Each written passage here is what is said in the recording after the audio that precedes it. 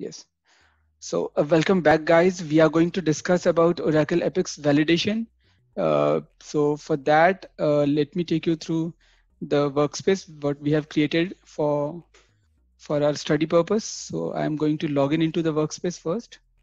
The credential is same. Uh, I want you guys to keep uh, practicing this thing. That will help you to understand more about it and you can ask your doubt over here or maybe uh, maybe at uh, I mean this future developer app raise question place okay? So uh, last time what we have done we have created an application and here we have uh, in this app what we have done? We have uh, we have a tab here employee tab and in this tab we had this report and here we have created a normal form okay? A form like this so, and uh, we have written a page process behind this form, which were helping us to insert or update the data. Okay, so this is what we done so far in our last web session. Now, what I'm going to do, I'm going to explain you about the validation. We had we have certain validation thing, so uh, so that I'm going to explain you today. Uh, so uh, so one by one we'll take all the case studies case scenarios for that okay? So uh, so let me click on this create. And uh, so the very first thing what i want to show you that uh, this field should be should not be null. If if a user is trying to keep it null and he, he is trying to keep uh, he's trying to insert or create the value uh, he sh it should not allow them to insert the value without keeping it null okay? Or maybe blank you can say. So for that what we can do here in page uh, backend thing. Uh, so here, this is the backside of the page, or you can say all the codes or everything you can write here and that that will behave uh, here in front of the page actually. Okay. So, uh, so, so, so in this pan, we have, uh, we have, a, we have an option called validation over here. As you can see above this process, we have validation and we can write all our validation stuff over here. Okay. How we can do that? Let me delete. I have done something here. Let me delete the old one. Now this is complete fresh page. Okay. And uh, here is our form. So, so uh, what I'm going to do, I'm going to create a validation that if a user will keep it null and he'll try to create the data, it will not allow them to create the data. Okay. So for that, here is a validation. I have to uh, I have to look into this uh, this thing, um, the item actually. Okay, so uh, we have two ways to create the validation. Either we can uh, directly click on this plus button, or what we can do here we have this item. We can click uh, right click on this, and then we can uh, click on this create validation. So as you can see, both will be going to do the same thing actually. Either you can do right click over the item or you can click on plus button and then you can get into this thing. Okay, now give a nice name to this uh, validation. Let's say uh, employee number. I'm just going to give employee number. Okay.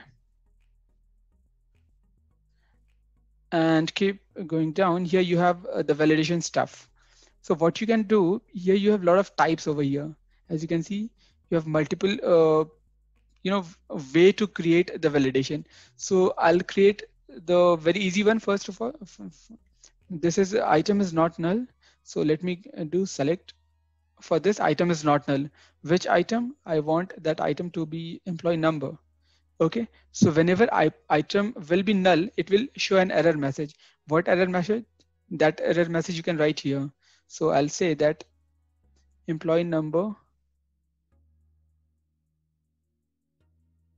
or please fill employee number like that. I have just entered uh, error message. Okay. When it come down uh, here, you'll be having this thing display location. So where you, you where you want your message to uh, uh, to be associated with. So this is the item actually, and along uh, in line with this uh, in line with this item, your message will be visible. Okay. So here here again you have multiple options in line with the field, in line uh, with the field, and in notification. So I'll show you what what does it mean. Okay. So let me let me uh, let, let let's keep the default one first. Okay. Now here you have server side condition. So on which condition you want this validation to be executed. So you you you uh, you want to say that uh, just when I'll create click on create button, this validation should get executed like that. Okay. So here you have one uh, server side condition. Either you can give a condition on button or what you can do, you can write your uh, SQL uh, code, PLSQL expression uh, and when that expression will get executed and that will be true then only this validation will get executed. That that can also be done. But uh, as of now i'm going just going to take this create uh, on this uh, button click this validation will get executed. Okay? So i have done this thing. Now let's save it. Now go back to our application let me close it and le let me refresh the page so we have done it so far now click on create button and uh, let's keep it blank and click on this create. So as you can see, we got this message, please fill the employee number. Okay, because we have created that validation. So this is how validation work. So this is one way to create the validation. Okay, now again, let's go to this place. And as I was telling you about this, so let's select another option here, display location. So I'll say in line with field. Okay and we'll save it. Let's go to this page. And as you can see, we are getting message here and here at both the places. Okay. So when I'm saying, uh, because we had uh, selected the, uh, the previous option, that was option, this is. Now what we have done in line with the field, uh, we have saved it. Now let's see what is going to happen. Let me close it, click on create and click on create again. So as you can see, we didn't get that notification message. We just got this error message over here. So it is up to you how you want your, uh, I mean, how your requirement is actually, how your client wants you to validate the field. He wants it here or he wants it here like that. Okay. So, uh, so as you can see, we have a lot of, uh, I mean, other ways. If you'll select only this in line in notification, you'll not get that, uh, you'll not get this thing over here. You'll get only notification. Let me show you click on create and click on create again. So as you can see, you got it here, but you did, didn't get it here. Okay, so uh, this is one way to create validation. Okay, so here the logic was we don't want this item to be null. That was that was that was what our logic. So now what uh, I want to do, I want to change this thing. Let's see, I'm going to select uh, PLSQL function body returning Boolean. Okay. So again, this is a kind of uh, function body you're writing PLSQL function body and that you want if uh, a Boolean is going to return over here. So Boolean is again true and false type. A true is getting returned. Then uh, you are going to fire a, a, error message. If it is getting false, then a error message will not get fired. How we can do that? We can do you can you have to write your uh, command something like this. I'll show you over here. So let's say I'm going to, I'm just going to focus on this P3 EMP number. So if P3 EMP number is equal to null or maybe blank, then return true, okay? Else return false, okay? So here we have written that if uh, this thing is blank, we have not written anything over here. So this is blank, then it should be returning true. Otherwise, it should be returning false. And uh, let's valid validate it. You have to do end if. End if. Validate it. Okay. So so when this will be blank, then only it, it will return some true value. Okay. So if it is blank, then uh, the true value will get returned and the error message will get triggered. Let's save it and see it over here in the form. Close it. Now click on create. Then let, let's keep it blank itself and click on create. So as you can see, we got this error message. And how we got it, we have written a validation over here, which is actually of PLSQL function body, which is returning Boolean expression and boolean is nothing but true and false so this is another way to create a validation first first of first one i have shown you about not null second one i'm showing you like this you can write your so here I'm just showing an example actually. You can write your complete logic over here. So I have written a simple statement under if you can write your complete business logic over here. And accordingly, you can return true and false. And accordingly, you can create your validation. I mean, control your validation like that. Okay. So now you, we have another way to uh, do this thing is function returning uh, error text. Okay, let's see this one. So what, what it does. So this is again, another type of uh, validation actually. How we can do it? Uh, for this, what we can do, we can create uh, again begin and then here you have to write if uh, if uh, p3 emp number equals blank then so there what we have done we have simply written uh, return true now what we are going to write here we are going to write a complete text message so text message will be please fill the information. Okay. Else null. We are not going to do anything over here. And then uh, end if. Let's see what happened. Click on validate. click on validate again. Yeah, so it got validated. Now click on OK. And as you can see, we don't have, we didn't have this error message box. When we were, uh, when we were, when we have done, we have created another type of validation, it was there. But when we have created this returning error text message, this validation box is, uh, error message box is not there because we have written, we have written our error message over here itself. Okay. So this is another type of validation. Let's save it and uh, click on run, I mean, uh, refresh this page. Then click on create and let's create again, click on create. So cannot, okay. So this is somehow not working. Let me click on, click on, let me uh, get into this again. Okay, so let's do one thing. We'll declare and we'll create a variable over here and you be your number type and we'll uh, assign you know this value into that variable first because I think that that might create problem so I'm just assigning this value into this I mean uh, variable okay and now here I'm writing going to write if v underscore num is null okay like that so as you can see here, this is assignment operator. This is not equal operator. I'm assigning value, this value into the variable. Uh, validated, click on OK, save it, come to this place, refresh this page first.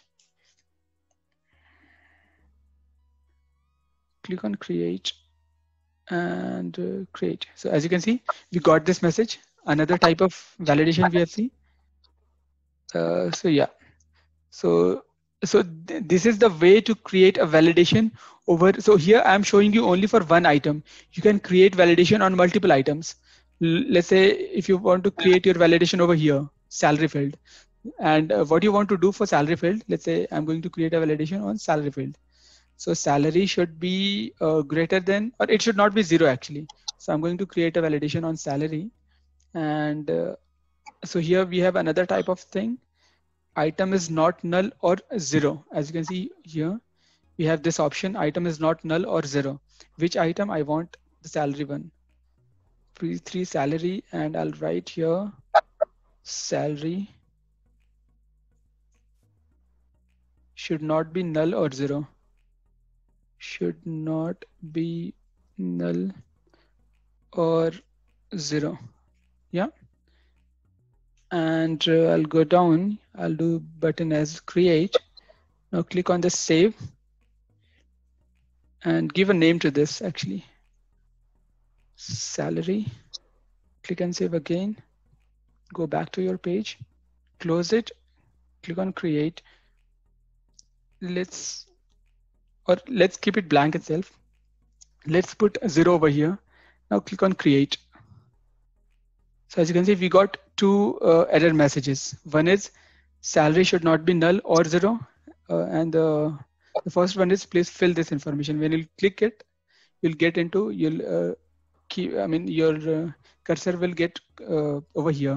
When you click on this, your cursor will get over here like that. So this is how you can give validation to every item. That is all up to you what is the requirement is or how you want your item to be restricted with the user actually. So you have you are having multiple options over here. You just uh, uh, explore by yourself. As you can see here, item equals value. So if you want your item to validate validated for particular value, that you can do from here. Or if you want your item not to be that value, you can do it from here. So you have a lot of options over here. Okay. So uh, yes, that is it for today. The validation thing. Any uh, any uh, doubt or any query, uh, friends? Yes, sir. Hello. Yes, please. So in case of salary and I got that one, but what about the date? Means format issue if you want to make this format, can you do that condition also? Yes. So format is again another thing. Let's say if you uh, if you'll uh, create any uh, date, so this date is coming in this format. Okay. Now you want it in DD, MO, and YY format. So that is another Yeah. another stuff. What you can do for that, click on this date item. Here you have date item. Uh, go below, and uh, here you, as you can see, the format mask option is there under appearance. Okay. Yeah. So when you click on this, the right side, uh, this menu option, you'll get these many formats over here. Okay. So let's create, click on this format. Okay. DD, MO, and YY format. Mhm. Click on it. Save it. Now let's run it again. Click on create page and uh, select any date, 23rd, and you're getting data, something like this. Got it? So this is how you can control your format. I mean, how you want your data to Yeah, be visible thank to the user like that. Yes. Yeah, I wanted to uh, also ask a question concerning uh, the date validation. Uh, Uh, you find that uh, uh, the, the date validation, date validation. Okay. yes, we find that uh, in some areas when we create uh, such forms, we don't Uh-huh. want uh, users to pick the current date as their hired date. Maybe maybe they got hired in 2015. Right, So right, we want to validate that So again, you have that option here itself. the So- date picker shouldn't pick today's date by default. So what you can do you, uh, here in date item itself, you have minimum date and maximum date. This is option. Okay. So you can mention your minimum date and maximum maximum date. So your date field lies between these these two values only. If you want to highlight any date, a current date or any, any date, you can do it from here like that. So you have all these options over here itself. So for that, no need to give validation. You can control it from here. If you have complex uh, business logic on date field itself, you can do it over here. So again, you have uh, you have you'll get something uh, to restrict your date and all those things Your voice. here, is or you can write your clear. PLSQL expression to control that part. Got it. Oh, So you have actually two ways to uh, work on, I mean, with the date fields. Yes, okay. No, thank you. sure.